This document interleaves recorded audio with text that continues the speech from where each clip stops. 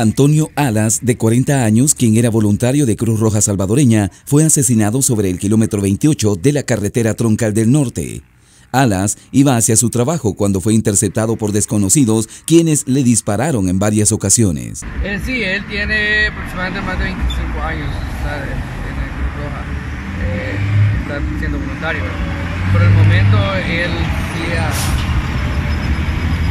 era de los más eh, constantes de la, de la trayectoria de nuestro seccional. Lamentablemente hoy perdimos una vida bien importante de un voluntario que estimaba mucho a nuestro seccional. La víctima deja a un menor de 8 años en la orfandad. Hasta el cierre de esta nota se desconocen los motivos del crimen. Con imágenes y reportes de Jonathan Funes, este es un informe de la.